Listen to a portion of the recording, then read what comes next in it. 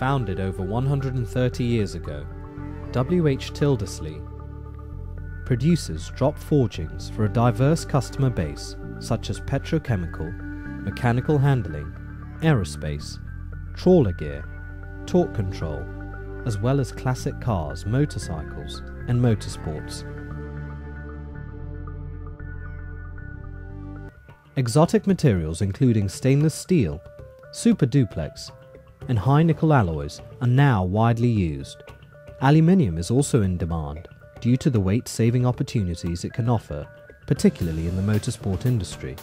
Using 3D modelling, CAD CAM, and finite element simulation, our in house toolroom can produce tooling within a very short lead time, supporting customers from design to finished parts. Investing in both the people and processes, lean manufacturing is the driving force behind the company's development. Continuous improvement is at the core of the company's philosophy for the future.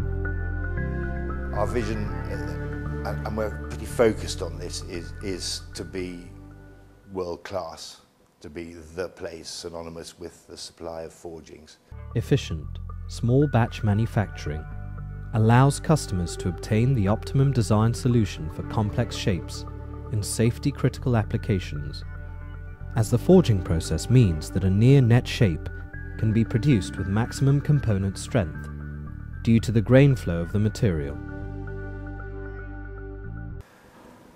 Quick to the market, uh, this is the company to come to. S sort of examples on that are, are racing cars in particular where uh, modifications happen very quickly and they need to be done and the traditional method has always been forging with its strength to weight, the realignment of grain flow, etc., the technical side. Uh, that traditionally was a long uh, development process. Uh, we specialized, specialized, realized that we needed to, to make our tooling infinitely quicker.